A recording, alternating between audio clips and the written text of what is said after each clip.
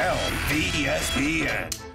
Hey, sports fans, Louis Diamond coming back at you in our Las Vegas studios, and we're going to look at more MLB baseball today, Saturday, July 23rd. We got Cleveland at Baltimore.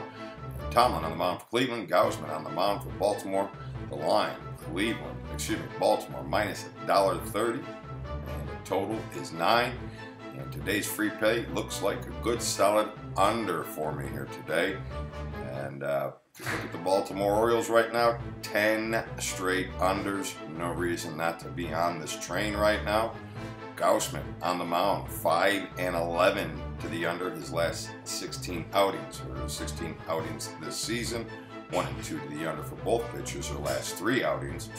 And uh, the Indians come in 22 and 25 to the under this season on the road, while the Orioles come in 21 and 24 to the under the season.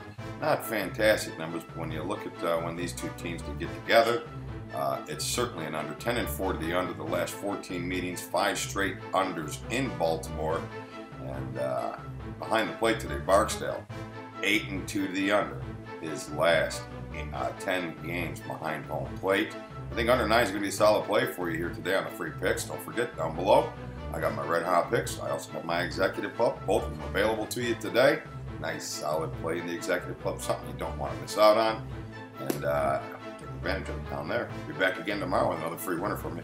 This is Louis Diamond.